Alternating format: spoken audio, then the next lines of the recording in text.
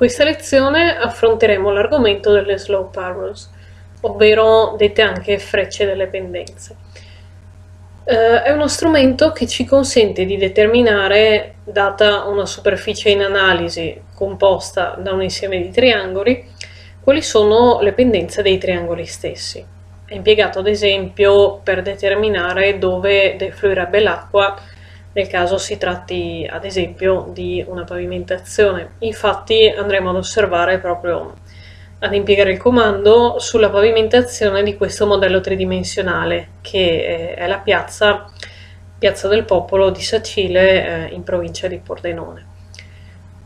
Ok, e ora eh, ovviamente affinché il comando possa essere impiegato in modo proficuo sarà necessario che eh, il modello tridimensionale della pavimentazione in questione sia realizzato con una, un sufficiente livello di dettaglio.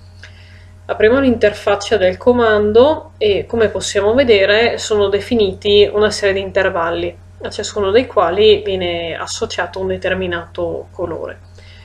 Eh, possiamo modificare questi intervalli. E, beh, gli intervalli, come potete vedere, eh, sono rappresentati da una pendenza minima e una pendenza massima, entrambe espresse in percentuale, entro le quali se eh, quel triangolo in esame ha una pendenza che, che cade all'interno di questo intervallo di pendenze percentuali, allora gli verrà associata una freccia di quel colore questa maniera eh, noi riusciremo a sapere non solo qual è la direzione della pendenza, ma anche il valore di pendenza. Infatti riusciremo ad identificare a livello visivo quali sono le zone a pendenza più bassa, quindi di colore rosso oppure arancione, o eh, con pendenza più elevata, quindi verde, ciano o addirittura blu, che va dal 12% in su.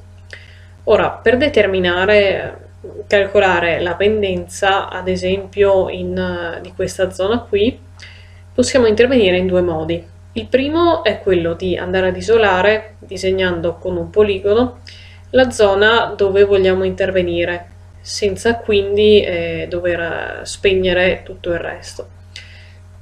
Questa è chiaramente la soluzione più comoda, ma ovviamente potrò impiegarla solo per una parte della pavimentazione. E dunque facciamo un esempio. Beh, eh, per comodità possiamo spegnere le texture perché in questo momento non ci servono per l'analisi e quindi andiamo qui sul gestore dei layer e spegniamo tutte le texture. Ok, dopodiché per comodità possiamo anche impiegare lo stile di visualizzazione wireframe che ci consente di identificare meglio le frecce una volta che saranno disegnate. Ora, cliccando su seleziona e calcola, andremo a disegnare. Eh, lo snap in questo caso non ci serve e andiamo quindi a disabilitarlo. Andremo a disegnare una, una zona, a selezionare una zona all'interno di una polilinea che disegniamo come una serie di vertici con il tasto sinistro del mouse. Quindi tasto destro, chiudere polilinea e abbiamo quindi disegnato la zona dove andare ad eseguire il calcolo che parte come vedete immediatamente. Infatti notate qui sotto che sta eseguendo il calcolo.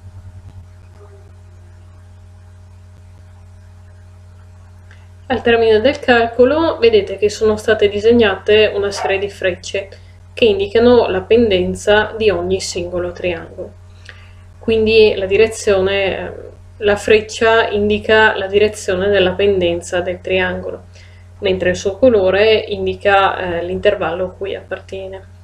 Qui ad esempio tutta questa zona di frecce verdi non solo indica che l'acqua, l'eventuale acqua defluirebbe in questa direzione, ma indica anche che la pendenza di questa zona è racchiusa in un intervallo che va dal 4 all'8%.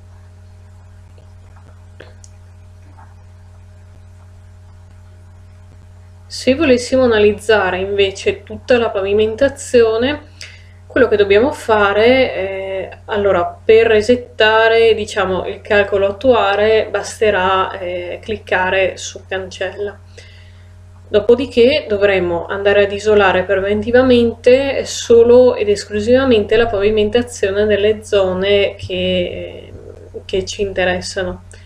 Quindi andremo sul gestore dei layer, facciamo cancella selezione per essere sicuri che non ci fosse nulla di già selezionato, dopodiché eh, con lo strumento di selezione faremo una selezione con polilinea in modo tale da essere sicuri di comprendere tutti gli elementi che ci interessano. Selezioniamo eh, la zona che gli elementi dei layer che ci interessano, controlliamo che siano toccati dalla selezione, in questo caso sono solo tre elementi, pavimentazione 1, 2 e 3 c'è un'ulteriore pavimentazione che è la 4 che è probabilmente quella che corre lungo appena a ridosso di eh, questo porticato. Lo possiamo eventualmente andare ad aggiungere con la selezione manuale la selezioniamo e quindi abbiamo quattro elementi di pavimentazione. Li isoliamo spegniamo la texture che in questo momento non ci interessa benissimo e questa è tutta la pavimentazione della nostra piazza. Possiamo chiudere il gestore dei layer e a questo punto sarà sufficiente eh, non servirà più andare a selezionare e calcolare ma lanceremo direttamente il calcolo Bene, al termine del calcolo, come potete vedere, sono state inserite le frecce su tutta la pavimentazione che abbiamo isolato con lo strumento di gestione dei layer. La dimensione delle frecce viene determinata, diciamo, con dei valori di base in rapporto alla dimensione dei triangoli. Infatti, come potete vedere, se il triangolo è più grande, la freccia avrà una dimensione maggiore rispetto a quella dei triangolini più piccoli quindi si autoridimensiona, possiamo dire, eh, in base alla dimensione del triangolo in esame. Ma possiamo comunque chiedere al software di incrementare, eh, se lo vogliamo, la dimensione delle frecce. Quindi ad esempio portiamo ad un fattore 2 o addirittura ad un fattore 3, ma ovviamente dobbiamo rieseguire il calcolo per vedere le modifiche. Potete vedere che ora le frecce addirittura sbordano dai triangoli, ma dal punto di vista, se dovessimo analizzarle da un punto di vista più, diciamo, più lontano, probabilmente ci garantirebbero di essere maggiormente visibili.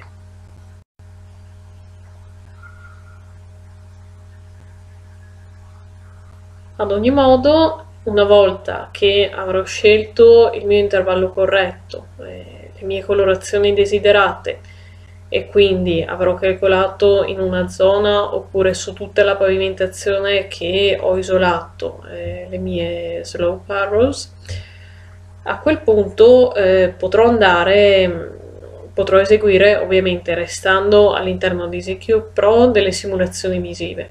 Per esempio con lo strumento immagini o filmati realizzare delle immagini o dei filmati che illustrano visivamente qual è in pratica la situazione di deflusso delle acque. Però se dovessi poi impiegare queste frecce all'interno di un CAD, per esempio per realizzare una tavola o quant'altro, allora potrò andare ad esportare i miei dati in DXF, chiaramente eh, specificando il nome del file. Salviamo al termine del salvataggio, eh, se ora andiamo sul desktop, potremo vedere che c'è il file Slope Arrows appena creato. Doppio clic e verrà aperto con il programma associato all'apertura dei file di XF, che in questo caso specifico si tratta di Brixcat. Ed ecco quindi che noi troviamo all'interno del CAD tutte le varie frecce espresse come polilinee 3D che eh, rappresentano appunto eh, le, le, nostre slope arrows. Bene, tornando quindi ad EasyCube Pro, una cosa molto interessante per andare ad eseguire poi eventualmente le varie simulazioni visive può essere quello di, utilizzando il gestore dei layer, riaccendere tutto il modello. Magari solo per quanto riguarda la pavimentazione che come abbiamo visto prima eh, quindi va da pavimentazione 1 a pavimentazione 4 andiamo a spegnere le texture. Bene eh, nel prossimo tutorial affronteremo lo strumento dei drop plane